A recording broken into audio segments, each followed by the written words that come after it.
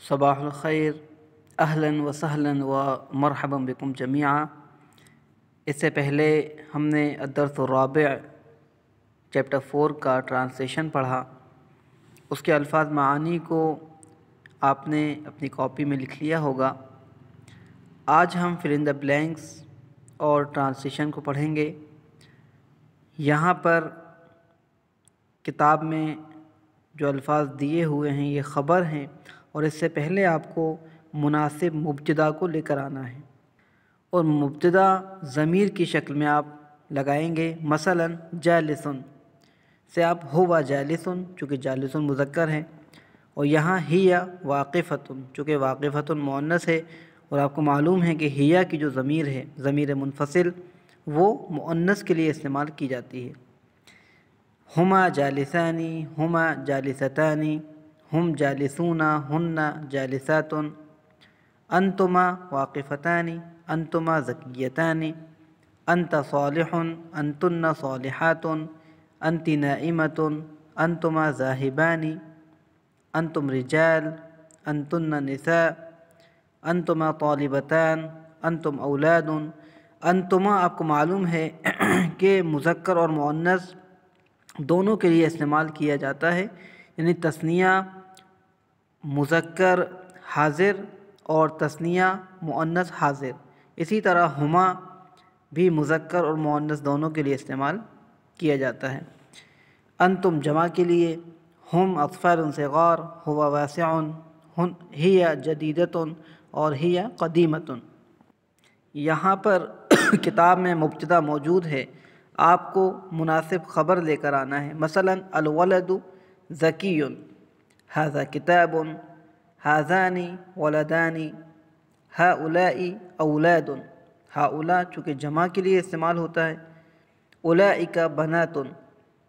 ہن لاعبات. أنت لاعب.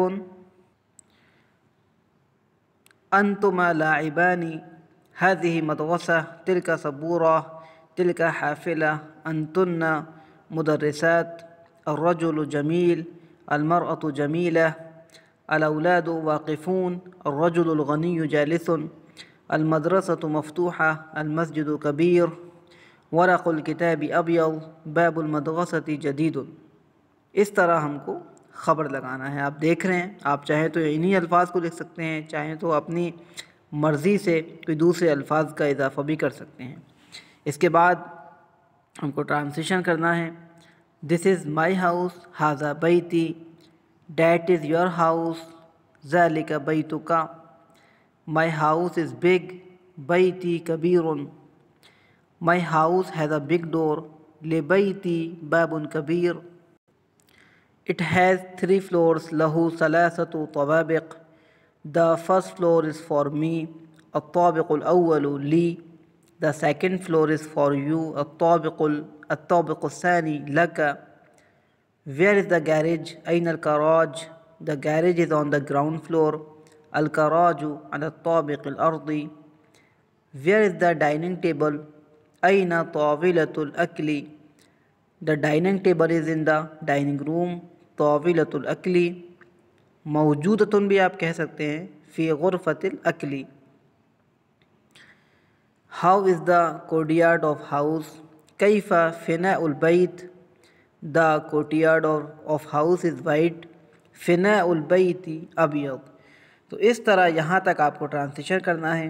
انشاءاللہ نیکسٹ ویڈیو میں ہم عربی سے انگلش اور باقی مبتدا خبر کو پہچاننے کا طریقہ اور میچ دا فالوئنگ ان تمام ایکسرسائز کو کمپلیٹ کریں گے. یہیں تک آپ فی الحال اپنی کتاب میں کمپلیٹ کیجیے.